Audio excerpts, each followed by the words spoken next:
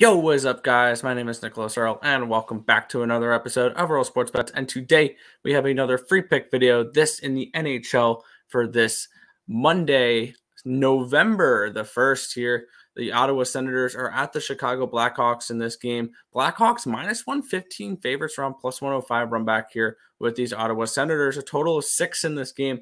And looking at this matchup here, uh, we should be having, I believe uh, Marc Andre Fleury in net for this game against Anton Forsberg.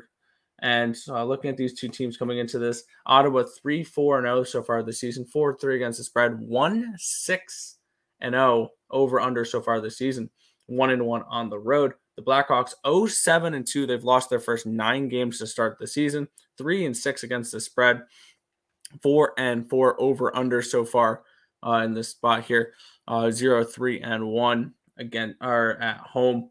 And looking at the Blackhawks here, they are coming off of a 1 0 loss against the St. Louis Blues after losing 6 3 to the Hurricanes and 3 2 in overtime to the Maple Leafs. On the other side, we have Ottawa coming off of that 4 1 loss again or 4 1 win against Dallas on the 29th.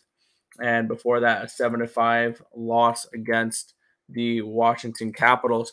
But looking at this game here, I'm going to go under the six in this spot. The Ottawa Senators have been a really good under team so far this year. They've gone under in six of their first seven games, and they really do struggle to put the puck in the back of the net. They're 21st in the NHL with 2.71 goals scored per game.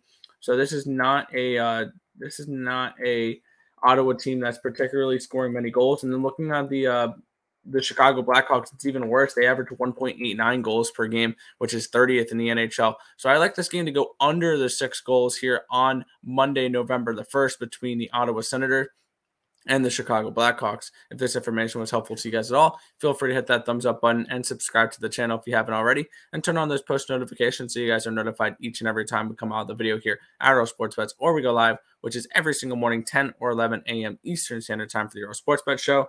That's going to just about wrap it up for this one. I want to thank you guys as always for watching and good luck.